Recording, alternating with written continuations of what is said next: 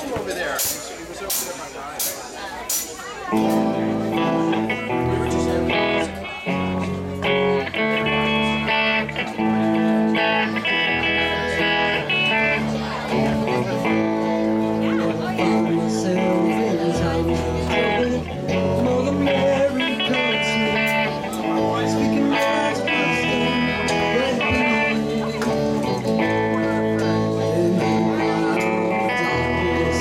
you still